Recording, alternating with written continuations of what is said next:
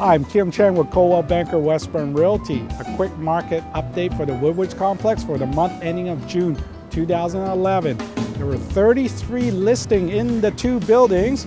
Three sold. They were all one bedroom. Worked out to be $660 a square foot. Any question? Give me a shout. I hope to hear from you soon.